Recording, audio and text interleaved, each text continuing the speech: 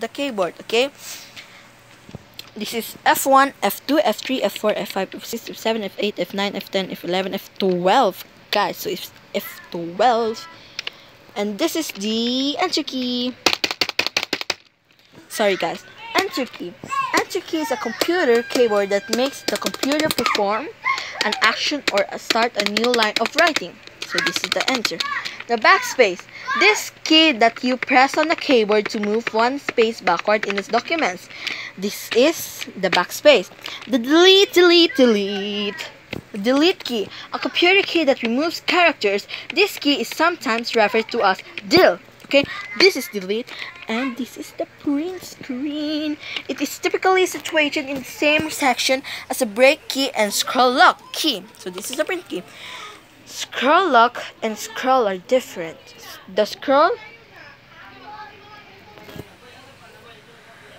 the scroll is home home and back up back up back page up and page down.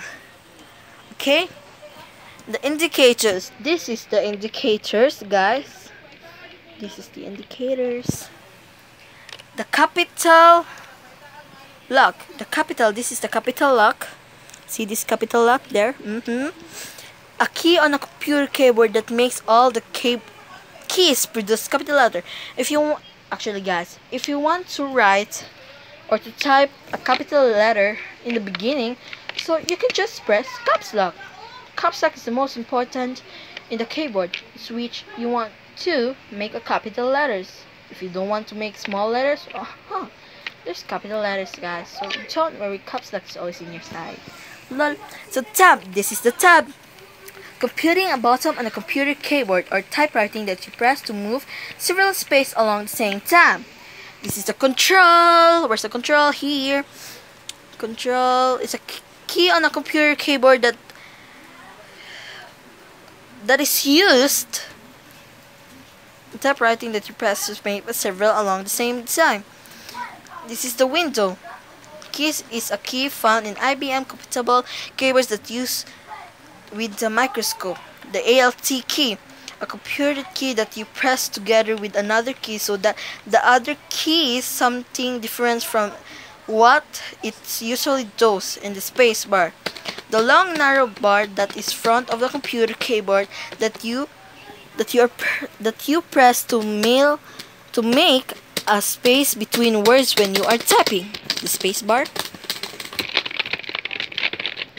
Space bar and the menu. This is a menu, also known as an application key. It's a key found in some Windows-oriented keyboard.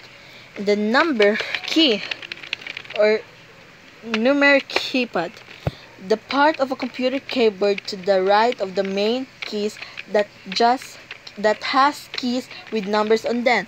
Like 1 0 1 2 3 4 5 6 7 8 9 10 it has decimal points and it has numlock and enter and the plus slash and I don't know the address.